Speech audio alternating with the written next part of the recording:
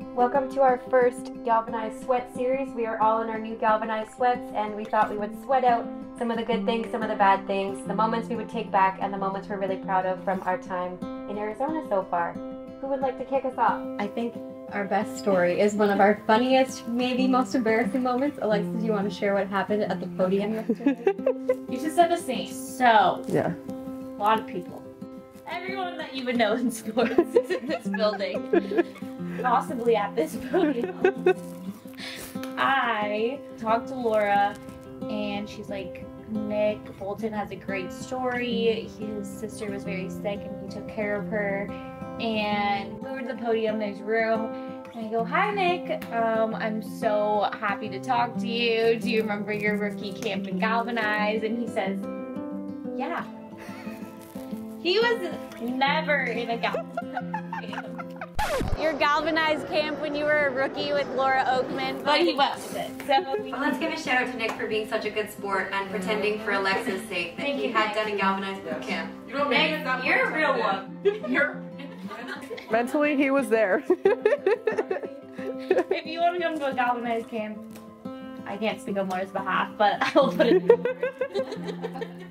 Like Pamela, you should tell yours next. so anyway, we were sitting there with the Chiefs, and they were walking around all of these players, and so I, as you guys may or may not know, I'm not the most outgoing. Walk up to someone and present something. So I walked up to these two tall players that were sitting there just talking to each other. They seemed kind of excluded from the rest of the event, and so I was like, "Hey, we're currently doing a series focusing on who you are, not necessarily football. Would you two be interested in coming over to do a quick interview with us?" And the one player looks at me, he goes, "No, I'm good," and the other one goes, not today. And I go, okay, awesome, enjoy your evening. And I came back to where we all were. And so I was like, okay, that's fine. Like, not gonna think too much of it. We continue to go about our day. And then at that point, that's when Alexa walked over to the podium. So then we're coming back. And we're sitting there and I'm like, oh, where are the twins? And so they're like, oh, we're gonna go off and start looking for people. And so. We were all taking turns kind of standing Yeah. with the camera and then pulling players. Yes. We found them to come do an interview. to get them, yeah. So Pamela had taken her shot. Hmm I wouldn't even say she missed. I would just say that I just, it just bounced back. it just bounced back. It just bounced back. I threw it and it came right back at me and it's fine. So like, okay, Pamela, I'm determined. I'm going to get you somebody good. So I go out there and I see these two tall players. And I was like, that's great for Pamela. I didn't recognize them at first. I was like, this is great for Pamela. She won't feel like the tallest one. She has some guys that have some height. Um, and I said, uh, hey guys, why don't, why don't we go do a quick interview? I just want to hear about who you are, not what you're doing. Uh, we're not going to talk about football. And one of them was like, yeah, okay. And he wasn't the most enthusiastic, and the other one was like, "Yeah, okay, we'll, we'll do it together." And so both of them come walking over, and Pamela's just got this weird expression on her face, and I was like, "Is she feeling uncomfortable? Like, is she okay?" and I was like, "Pamela, I, I found two guys for you. I, I made some friends." And Pamela's like, Oh, great. Awesome. And you were like, oh, do like, you know? "Oh, do you are like, do you not want to do it?" Like, I was trying to do the eye to eye communication. Like, are you okay right now? Like, do I need to? Am I going to substitute? Drew? Yep. And I was, and the twin telepathy was not. it was not happening. And I would say that Pamela did it like a pro, and not only was it a good interview, at one point in the interview, each of them at different times said, that was a really good question. So I think that maybe The they, judge do. they got sneaky galvanized. But before my crazy interview, you two had a bit of a sweet interview with a man who didn't know he needed to be galvanized, but was feeling it in every way. Why don't you tell us about that one? We just talked about his family and his kids and how he misses them and he's excited for them to get here on Friday. He told us about how much they all galvanize him, how he galvanizes them, and at the end of it, he was just so sweet and he held his heart and said, Thank you for this. I really love this. It made my heart happier. It made my heart Yeah, this was I like this. This is really cool. I felt like I was like I don't know, my heart feels good right now. And it was, I think, the sweetest moment that we've had in an interview so far.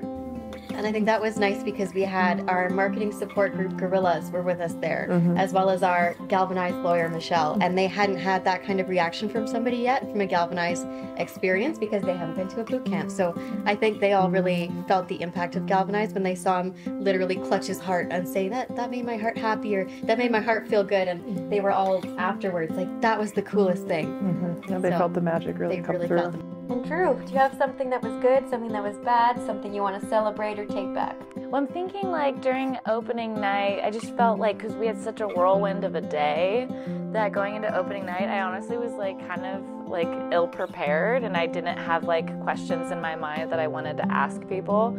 So, you know, when I was having like the first interview was with three players, so no less. so I'm like having to embarrass myself from not one, not two, but three players. And I just felt I wasn't asking like really good questions until Amanda came and saved me and then some stuff like kind of came to mind. So it was nice. Yeah, I was I was galvanized in that moment, but um, yeah, no, so that was fun. But I just felt like, okay, I just need to be a little bit more prepared. And then today, like our interviews that we got to do, I was just like, I feel really good. I feel really prepared, and then I feel like everything came out really good too. You were asking really good questions. I think it was really fun. Thank you. You're selling yourself short. We are. We weren't expecting three of them. Drew and I approached this group of guys that weren't being spoken to by other media, and so we said, And they're like all on defense, like and play. We couldn't. I think what's happening right I now. couldn't believe it. They were standing there. So we said, like, you guys spend enough time together. Why don't you come do an interview? And um, they were like, can we do it together? So we were like, sure. And then poor Drew was looking at three of them and trying to figure out how to conduct a galvanized interview. And you've got three of them standing there. I also think that kind of comes back to what we were talking about a little bit last night after the fact of how we're all so used to when we're in galvanized mode is opening up and just being vulnerable from day one. And so coming into this, I mean, at least speaking for myself, I know that jumping into interviews without the sisterhood day prep and without actually feeling the magic fully in our bones and just jumping straight in, I know that was a, definitely really difficult for me. As you said, it was hard to kind of get in game mode and go deep when instead of taking it layer by layer, we were going from top all the way to the deep end. And I feel like we've all adjusted super well, but We did pretty well considering it was I think a super intimidating experience at the same time as it was super exhilarating. Yeah, like even like if you're a reporter, you're used to like going in a locker room and talking football. You have back-to-back interviews, but you're always talking football. When you're going deep, it's always like